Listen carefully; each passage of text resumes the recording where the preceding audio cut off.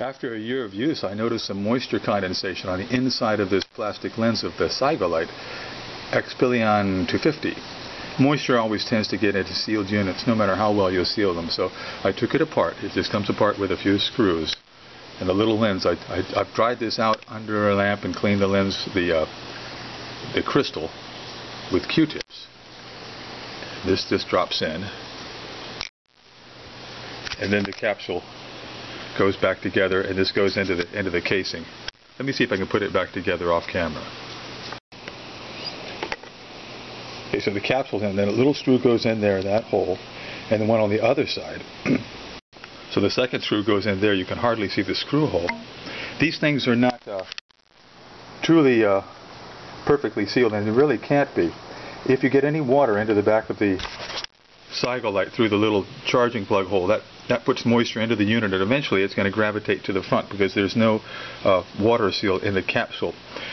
The crystal, the cover here, this this has got a, a, gasket so water doesn't get in there and water doesn't theoretically get in through this uh, silicone gasket. I'll put a little silicone grease on it to ensure, but you want to always be sure after charging, if you're going to ride out in the, in the damp, uh, make sure the little rubber plug is fully seated. It's, it's a little bit of a trouble, problem so I, I, tend to grease it with silicone grease and then it pops in. But sometimes I forget to get it in or it pops out and I've gotten water in the unit. Just a little bit. It doesn't take much, but eventually it'll work its way up to the front and fog the lens and cut your light output considerably. Let's put it together. Now the capsule is screwed in place. This goes, slips in. Then it'll go into the case you'll have to remove the rubber button or lift it because it has to clear. The rubber button presses on this little red dot, that's what turns the unit on and off and goes through the, the cycling of bright, medium, low, and then flash. So now there's, this is in here. Get it seated. Put it into the black case, and then there's three screws that go in. One, two, three. And I'll grease, I'll do this off camera, I'll put a, a, a film of silicone grease on this silicone gasket. It probably isn't needed, but it can't hurt. The silicone grease I happen to use, I've been using for over 40 years. I took this home from the U.S. Navy, from our submarine tender. They were throwing it away because it was old stock. It's from about 1950. It might even be from the late 1940s. Silicone grease is nice because it's absolutely inert. It never ages. It's completely inert to all chemicals. And as you see, one jar will last a lifetime. Okay, now I'm ready to slide this together. The original push button is lost, so I have to get another one. I made a, one out of silicone rubber. But you see, when you have this put together, see the little red button? When you press on this, it lightly pushes that tiny button and cycles it through its, uh, its switching modes. See, now the lens is relatively clean, much better than it was before. Three screws and it's done. It's a good practice when putting screws into die-cast or any material to turn the screw backwards until it finds the thread. Then carefully turn it in and feel the thread engage. Then you can go ahead and snug it in. Snug the three screws evenly. Go around three times. You see how the uh, little micro switch button works. God, so clumsy.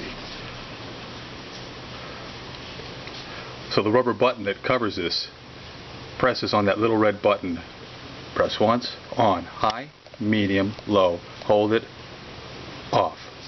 Okay, so I'm going to put my little makeshift button back on. It's ugly, and I'm going to put it on with some uh, a fresh coat of this. Silicone adhesive sticks to itself, so this will make a water seal. And until I get a new one, this will, this serves just fine. Okay, thank you. Okay, now it's basically together. Relatively clean lens and the uh, lithium battery, it's always good to give the contact surfaces a wipe with a little metal polish or with a Q-tip. It's nickel plate, and when nickel oxidizes, it's not a very good conductor, so the battery goes in. And when you do this, the light comes on automatically. Now let's see if my uh, light functions properly. Medium, low, flash. Press the button in all the way and hold it for a second and it turns off. Now if you want to turn it on and have it go into low power mode, like to use as a general purpose uh, low power flashlight, it'll run for oh 20 or 40 hours at this brightness. That's your SOS. Press the button and hold it for a second and it turns off. Now to use it as a bicycle light, one press turns it on high, second press put, turns it on low, medium, and then low. You turn it off, press the button and hold it till it's off. And there's that little uh, USB port for charging. I'll put a little grease on it so it's raining outside and I want to go for a bicycle ride. So I'm going to make sure this is in the rain. I'm going to make sure this is not going to let water get into it again. But if it does, I'll know because the lens will get wet with condensation on the inside. So aside from needing a, new, needing a new push button, my Cygolite is still in perfect condition after over a year of use. I recommend it highly. It's a good product and it's repairable.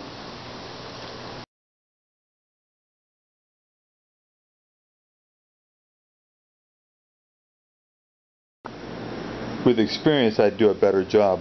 There are a few little fibers from the Q-tip uh, cotton swab in there, but that really doesn't matter. It's much better than it was before. I'd lost a great deal of light output because there was water droplets on the inside of the crystal.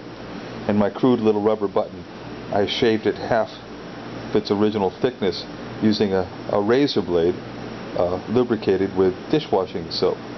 It's not pretty, but it works. And you know what? When I put it back in, I put some silicone on the inside of it and then press it in place. But first, I swab the little red button with silicone grease. That way this stuff won't stick to it. That means I can pull this out next time I need to take it apart. But anyway, it's much easier to press on, off. It's much easier than the original button. So when I do get a, a replacement button someday, I'll probably fit it the same way. You understand? Taking up the clearance between the, the red button inside and the bottom surface of this means that when you press it lightly it'll turn on. Most of these are rather hard to turn on and that's for a reason. You don't want them to turn on accidentally. If you were to put it in your pocket you really shouldn't. I want it to be easy to turn on. So for me this works well. I need to ask the Cygolite people to send me a, a new rubber button. Okay. I hope this was a help